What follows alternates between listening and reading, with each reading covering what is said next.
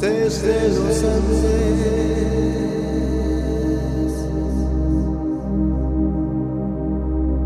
¿Cuándo?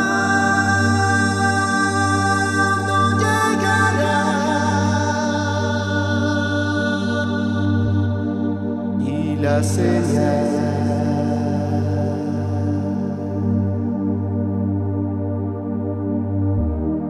desde los Andes senses.